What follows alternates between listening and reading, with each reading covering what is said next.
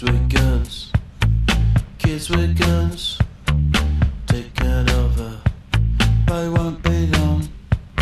They mesmerize skeletons, kids with guns.